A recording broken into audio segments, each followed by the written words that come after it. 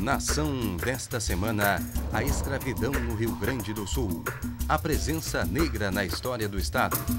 No início do século XIX, a população negra chegou a ser maioria aqui no Rio Grande do Sul. O Rio Grande do Sul foi uma das províncias que mais teve trabalhadores escravizados de todo o país.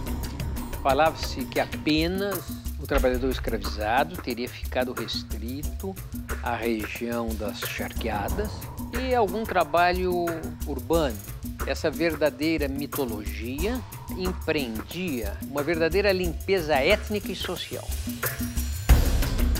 Nação, nesta segunda, oito e meia da noite.